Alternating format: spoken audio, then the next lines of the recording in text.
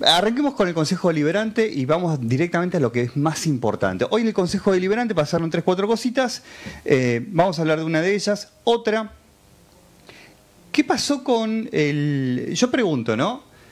Si el intendente tiene que estar en el, en el municipio, porque hay muchos temas para tratar, ¿qué hace el intendente observando todo lo que pasa en el Consejo Deliberante? ¿Eso no es pérdida de recursos?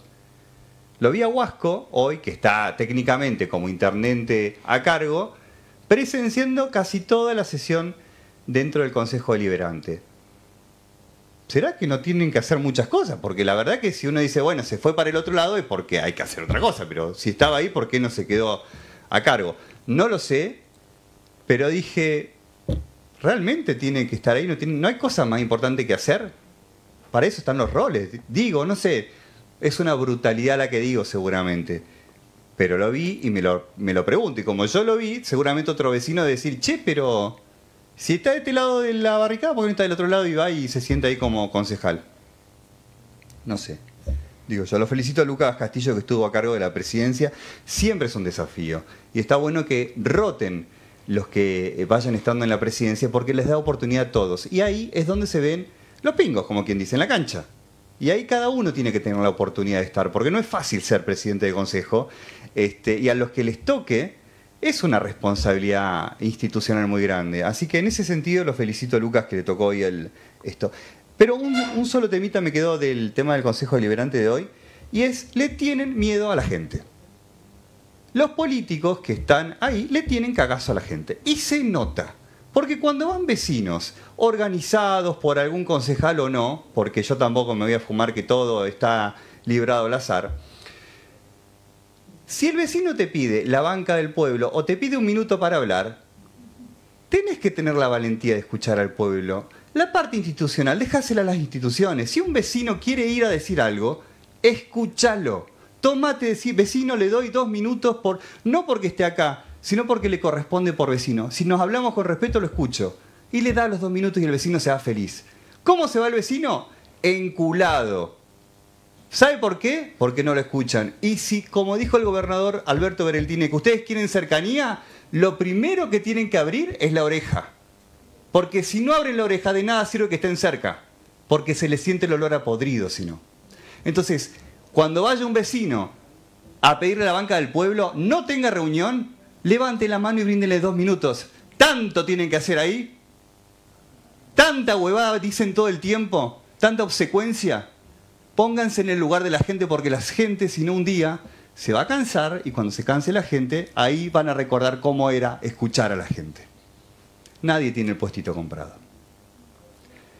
Eh, pasaron dos o tres cosas muy interesantes en la legislatura, eh, pero para antes de irme a la legislatura, eh, hubo un proyecto del skate park que te involucra.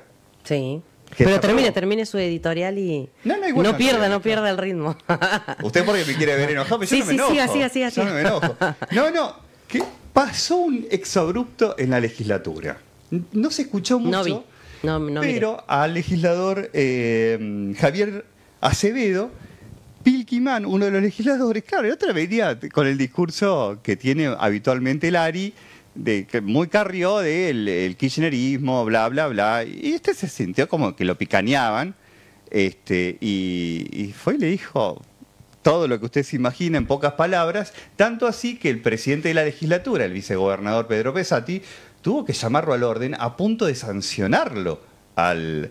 O sea, si hay algo que tienen que tener los legisladores, respeto, igual que los concejales, este, que es respeto para poder hablar. Justamente estamos ahí para hablar desde, desde la diferencia. Bueno, eso estuvo realmente intenso. Ayer, una re linda noticia. Río Negro, diario más importante de la Patagonia. Titular, El Bolsón, destino turístico, mega promo. Yo dije, wow, se, se pusieron la 10. Vamos, Nicolás, con este nuevo proyecto de... Leo el artículo, impecable. eh, 30% de descuento en eh, Entren en la página de, Turismo El Bolsón, busquen el QR. Yo dije, bueno, entro. Y resulta que la página no está actualizada.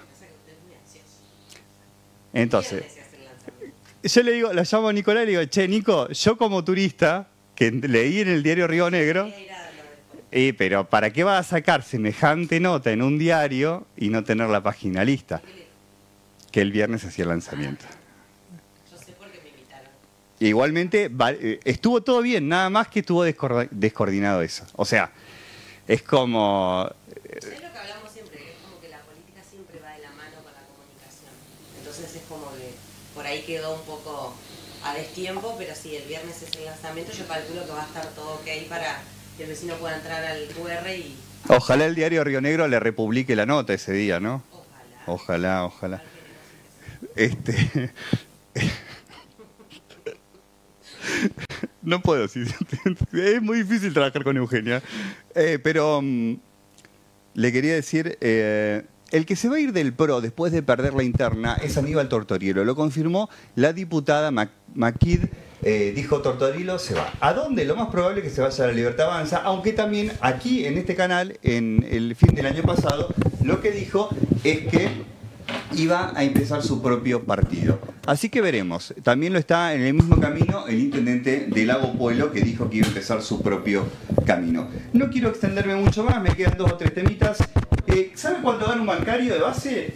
1.211.000 pesos de base bancario. Camioneros llegó a un mismo acuerdo, 1.100.000 pesos. ¿Sabe cuánto eh, Cortés dijo en la municipalidad de Bariloche? Ninguno va a estar por debajo de la línea de pobreza, cercano a los 400, 500 mil pesos aproximadamente. Le pregunté a Sandrita Contreras acá, porque dije, ya que vamos a chequear todo, vamos a chequear todo. Sandrita me dijo aproximadamente 350 de bolsillo, el municipal de acá. 1.200.000 pesos. ¿No, ¿No queda todo medio raro los gremios? Digo, hay gremios que lograron acuerdos muy grandes y otros gremios que están ahí rajuneando lo que sería la línea de indigencia en algunos casos. Eh, esta dicotomía de los gremios está bueno que algún día lo analicemos. Termino con... No, eso era lo último que